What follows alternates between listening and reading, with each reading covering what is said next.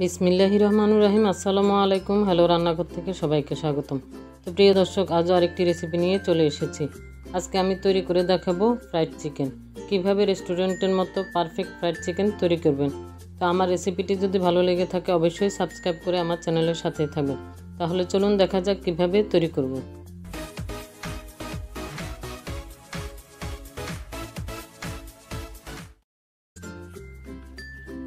তো fried chicken বানানোর জন্য আমি এখানে পাঁচশো গ্রাম লেগ পিস নিয়েছি। চিকেনটা আমি ভালোভাবে কেটে পরিষ্কার করে ধুয়ে নিয়েছি। এবার চিকেনটাকে একটা কাঁটা চামচের সাহায্যে সামান্য কুচিয়ে নিতে হবে, যাতে করে মেরিনেশনের সময় মশলাটা যেন চিকেনের ভিতর ভালোভাবে যেতে পারে। আর ঠিক একইভাবে আমি অন্য পিসগুলো কুচিয়ে নিয়েছি। এবার আমি চিকেনটা মেরিনেট করব। প্রথমে দিয়ে দিচ্ছি এক টেবিল চামচ আদা রসুন বাটা।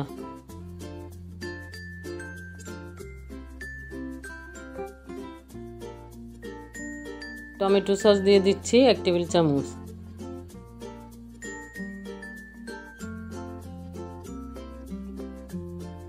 আর সয়া সস দিয়ে দিচ্ছি এক টেবিল চামচ।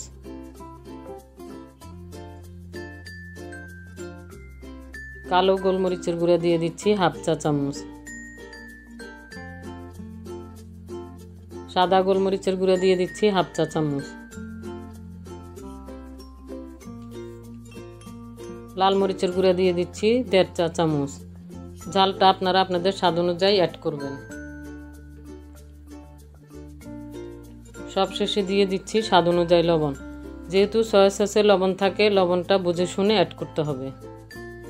এবার আমি মশলা উপকরণগুলোকে চিকেনের সাথে হাত দিয়ে ভালোভাবে মিশিয়ে নিচ্ছি। নর্মালি রেস্টুরেন্টগুলোতে টেস্টিং সল্ট ব্যবহার করা হয় বাট আমি এখানে টেস্টিং সল্টটা ব্যবহার করছি না। তবে আপনারা চাইলে স্বাদ অনুযায়ী কিছুটা টেস্টিং সল্ট অ্যাড করতে পারেন। মশলা মাখানোর পর চিকেনটাকে আমি এক ঘণ্টার জন্য রেস্টে রেখে দিচ্ছি। এখানে একটা মিক্সিং বলে আমি দেড় কাপ পরিমাণে ময়দা নিয়েছি।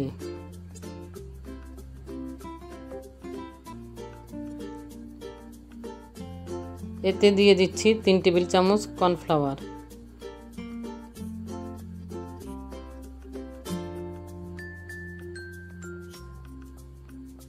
লাল মরিচের গুঁড়া দিয়ে দিচ্ছি এক চা চামচ।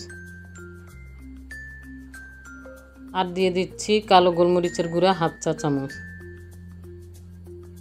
সাদা গোলমরিচের গুঁড়া হাফ চা চামচ। দিয়ে দিচ্ছি স্বাদ অনুযায়ী লবণ। আর এটাই হচ্ছে আমাদের ফ্রাইড চিকেনের জন্য ময়দার কোটিং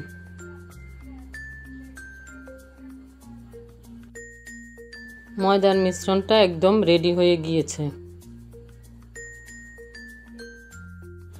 ফিরে এলাম এক ঘণ্টা পর। আর এরই মাঝে চিকেনটা কিন্তু খুব সুন্দরভাবে সেট হয়ে গিয়েছে। এবার সব কিছু হাত দিয়ে আবারও একটু ভালোভাবে মিশিয়ে নিচ্ছি। এখান থেকে এক টুকরো চিকেন আমি নিয়ে নিচ্ছি। ময়দাটা যে রেডি করে রেখেছিলাম, তার মধ্যে চিকেনের টুকরোটা দিয়ে ভালোভাবে চিকেনের টুকরোটাকে ঘুরিয়ে নিতে হবে। চিকেনের টুকরোটা ময়দার মধ্যে ভালোভাবে কোট করে নিতে হবে। কোট করার পর এক্সট্রা ময়দাটা এভাবে ঝেড়ে ফেলে দিতে হবে।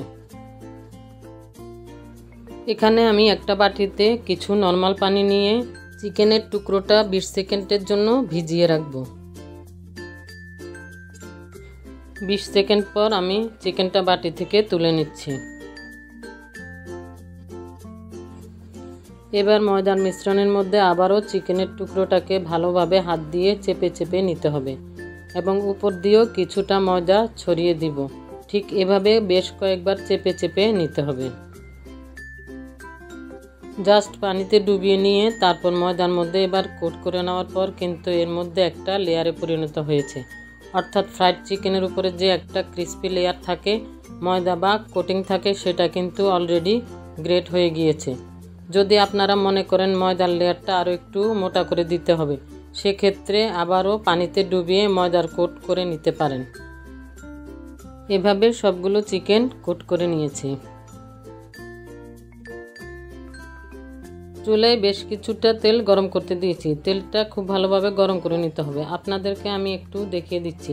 দেখেন, একটা কাঠি দেওয়ার পর সঙ্গে সঙ্গে সাইড দিয়ে অনেকগুলো বাবলসের মতো বুদবুদ উঠছে। বুঝতেই পারছেন, তেলটা অনেকটা গরম হয়ে গিয়েছে। ফ্রাইড চিকেন ভাজার জন্য তেলের তাপমাত্রাটা সঠিক হওয়া খুবই গুরুত্বপূর্ণ। এতে করে আপনার কোটিংটা খুলে আসার কোনো ভয় থাকবে না এবং সেটা অনেক বেশি ক্রিস্পিও পারফেক্ট হবে। তবে তেলটা অনেক বেশি গরম হওয়ার কারণে এটা কিন্তু পুড়ে যাওয়ার সম্ভাবনা কম। কারণ আপনি যখন চিকেনগুলো তেলের মধ্যে দিবেন অটোমেটিকলি তেলের তাপমাত্রাটা কিছুটা ডাউন হয়ে যাবে। আর তেলটা প্রথমেই ভালোভাবে গরম করে নিয়ে চিকেনগুলো তেলে ছাড়ার আগে চুলের আঁচটা মাঝারি থেকে একটু কমে রেখে দিলেই হবে। দেখতেই পাচ্ছেন তেলটা অনেক বেশি গরম হওয়ার কারণে উপরে একটা বুদবুদের মতো সৃষ্টি হয়েছে। এর ফলে কিন্তু উপরে যে কোটিংটা সেটা অনেকটা খুলে আসবে। একটা আরেকটার মধ্যে লেগে থাকবে না। এ পর্যায়ে যখন একটা সাইড হয়ে আসবে, তখন এগুলোকে উল্টে পাল্টে দিতে হবে। মিডিয়াম থেকে একটু কম আছে, চিকেনগুলোকে পনেরো মিনিটের মতো ভেজে নিতে হবে।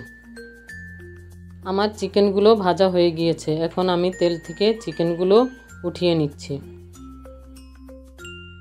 তো প্রিয় দর্শক, তৈরি হয়ে গেল আমার কেএফসি স্টাইলে ফ্রাইড চিকেন। এটা খেতে খুবই টেস্টি এবং সুস্বাদু হয়ে থাকে। এখন আমি একটা আপনাদেরকে ভেঙে দেখাচ্ছি। এটার ভিতরটা কেমন হয়েছে? উপরটা তো আপনারা দেখতেই পাচ্ছেন কত সুন্দর হয়েছে। খুব সুন্দরভাবে এর ভিতর সিদ্ধ হয়ে গিয়েছে।